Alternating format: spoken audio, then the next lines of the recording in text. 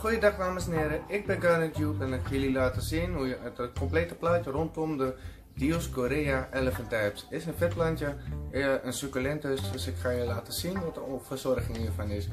Nu is het al, het is een heel spannend moment. Het is nu uh, half 12, het is 25 juni. Het is nu net zomer en ik krijg het pakketje elk moment binnen. Dus voor mij erg spannend, want het wordt een prachtige cactus. Dus ik ga jullie allemaal laten zien hoe dit gebeurt. En natuurlijk ga ik je laten zien uh, de verzorging en het complete plaatje natuurlijk. Nou mensen, mijn pakketje is binnen. Ik ga hem even aannemen.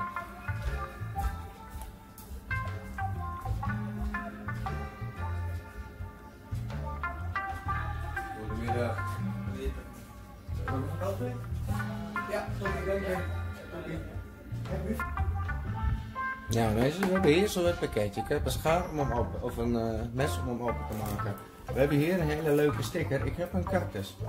Daar ben ik heel benieuwd wat ik nu ga aantreffen. Dus ik maak hem even open.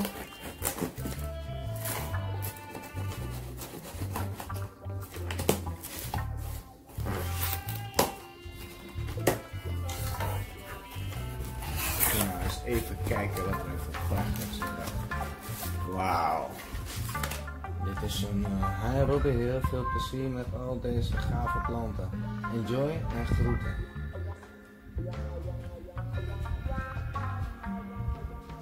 Oh, en Jing. Oh. Ah, grappig. Grappig. Wordt me gewoon het beste gewenst. Uh, wat hebben wij? We hier. Oké.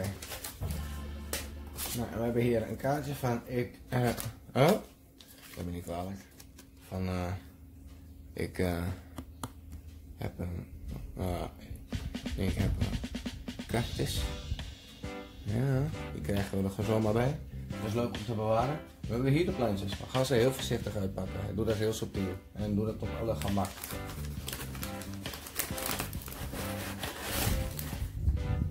We hebben hier zo het papiertje. Hier zo werden ze even vervoerd. Dat willen we dan even zeggen. Open doet dat boven de doos, anders heb je misschien allerlei aarde op de grond. Oh, kijk nou. Kijk nou mensen. Oh, wat schattig. Oh, wat schattig. Oh. Ja, die gaat er goed om in de kast. Nou, dit is één. Die zullen de andere ook uitpakken.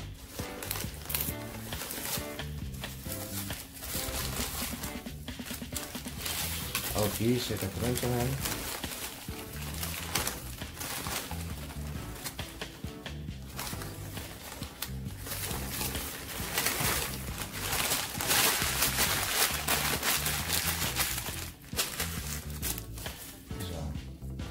Ook hier mensen hebben we er eentje. Deze staat toevallig in rust. Deze dingen bepalen zelf hun rusttijden begreep ik. Dus deze staat in rust. Die krijgt maar één keer in per maand water. Hier nog één. Eens kijken. Even kijken. Ja.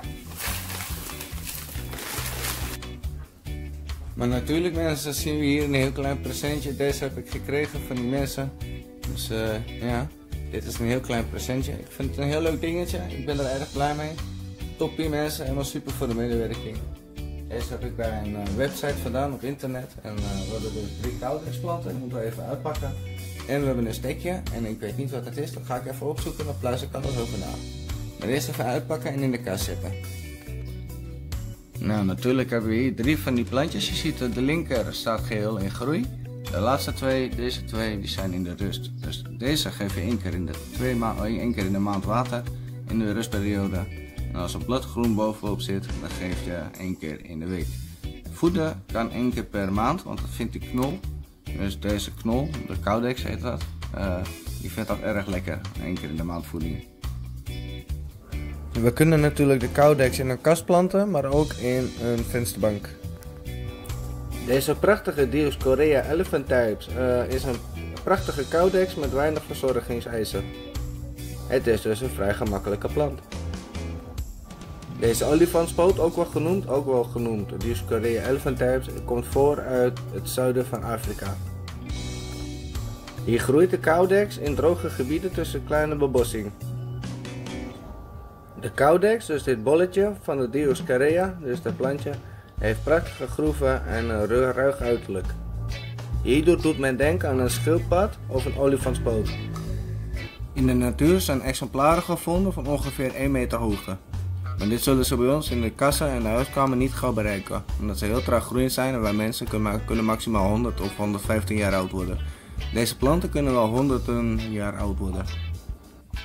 Vandaar ook dat ze een meter hoog kunnen worden, de knol enkelt al. Dat houdt dus in dat deze plant ons kan overleven. Alleen met goede omstandigheden. De groei van de caudex kan versneld worden door de plant in een grotere pot of schaal te zetten, waardoor ze meer ruimte krijgen en sneller groot kunnen worden. Heeft men geduld, dan doen we het op deze manier. Een klein potje, goede grond en een goede verzorging. In de natuur leeft een groepering mensen en die heet de Ottentotstam. Die eten Dioscorea elephantypes wanneer ze lange tochten maken. Dus deze bol zit vol vitamine en vezels, wat gegeten kan worden door de mens en dier. Net als vele andere caudexplanten heeft de Dioscorea elephantypes een rust en een groeiperiode. Deze bepaalt de plant zelf, dus het is niet seizoensgebonden.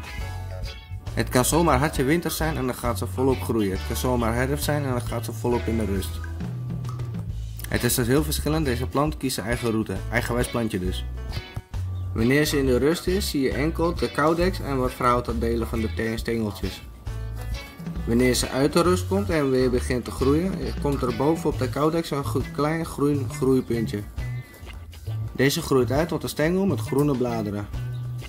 Deze stengels en bladeren kunnen heel snel groeien, tot wel 4 tot 5 cm per dag.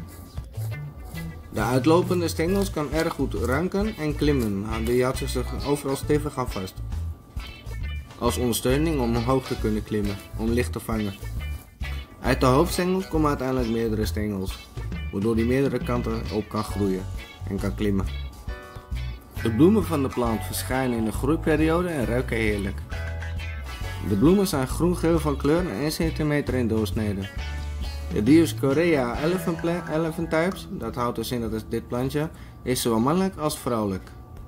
Hierdoor heb je minimaal twee planten nodig om te kunnen bestuiven. En weer voort te kweken uit zaad.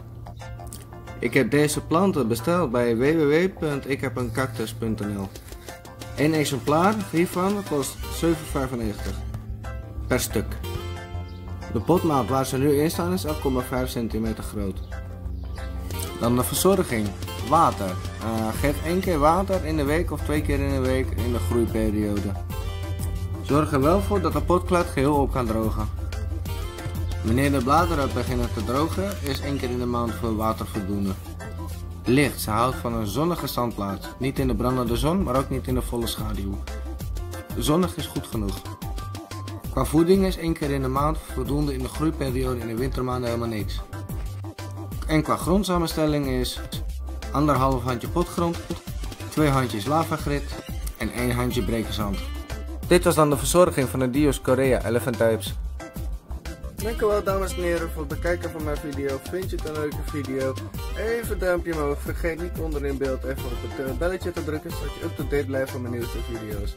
En mensen, adios en amigos. Het is hier nogal warm. Ik ga naar binnen.